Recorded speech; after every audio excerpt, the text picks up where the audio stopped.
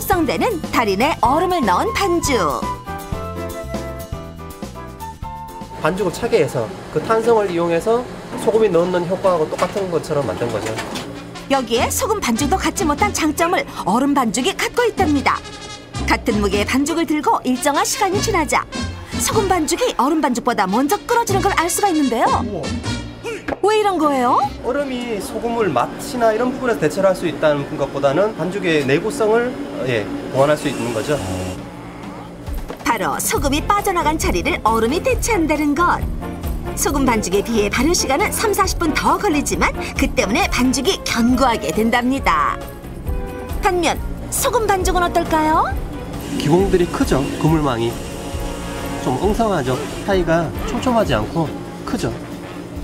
얼음 반죽은 자연 발효로 인해 소금뿐 아니라 이스트의 양까지 줄일 수 있다고 하니 건강에 더없이 좋겠죠. 반죽 완성 후 본격적으로 빵을 만들기 시작하는 달인. 손놀림이 예사롭지 않은데요. 기본 과정은 일반 빵을 만드는 것과 비슷합니다. 모양 제대로 갖춘 반죽을 오븐에 넣고 구워내면 완성. 노릇노릇 잘 구워진 빵에 윤기 잘잘 흐르는 게 참 먹음직스럽죠. 안까지 잘 익었네요.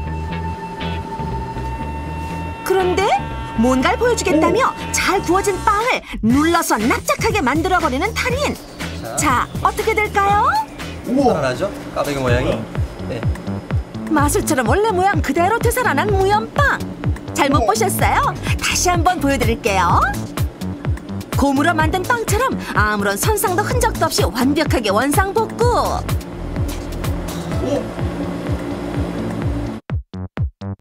어느 모양을 하고 있건 무염빵이라면 이 정도는 기본. 달인이 무염빵을 만들게 된 데는 특별한 이유가 있답니다. 아내가 약간 신장 쪽에 약간 그 조금 어, 면역력이 조금 떨어져서 예, 그래서 소금이 든 음식, 나트륨이 많이 든 음식 같은 건 피해야 되거든요. 예, 그래서 소금을 안 넣고 빵을 만들 수 없을까 그래서 궁리를 많이 했죠. 유독 사이가 좋았던 두 사람. 세상 누구보다 소중한 아내를 위해 무엇이든 해주고 싶었다는데요. 신장이 안 좋아서 싱겁게 먹고 있는 거거든요. 다른 신장이 안 좋은 환자들에게도 도움이 될 것 같아서 그런 치즈를 만드는 거죠. 그런 감동도 했었고 기쁘기도 했었고 그랬었죠. 네네. 맛은 어떠세요? 저 맛있었어요. 맛있었어요. 맛있었어요? 네.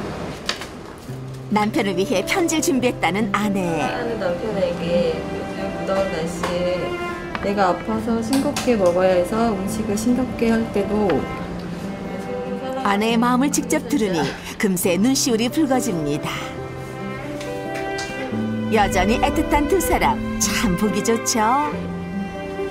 저한테 무염빵은 그냥 아내를 기쁘게 해줄 수 있는 저만의 비밀 무기. 건강 무염빵이 키워준 사랑의 힘입니다. 오늘도 무염빵 만들기에 여념없는 달인. 반죽에서 가장 중요한 한 가지가 뭘까요?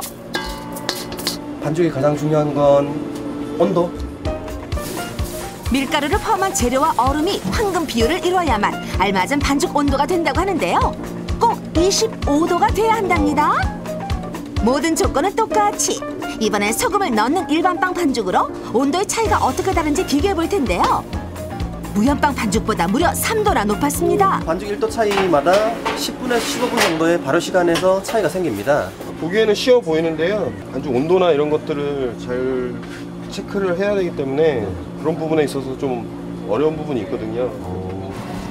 무염빵은 첫째도 온도, 둘째도 온도 체크가 제일 중요하다는 사실 명심해야겠네요.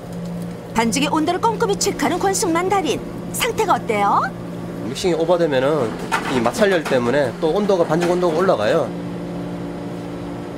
무염빵 특정 온도가 24도, 25도니까 예, 좀 얼음을 넣어줘서 온도를 다운 시키려고요. 이 정도? 예. 그런데 달인 중량을 재보지도 않고 대충 눈대중으로 얼음을 넣으셔도 되나요? 눈찜작과 이 부피 양을 보고 예.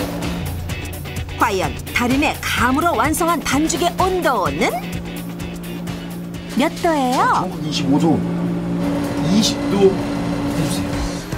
한 번에 적정 온도를 찾아낸 달인. 이번에도 정확하게 20도로 반죽 온도를 맞출 수가 있을까요?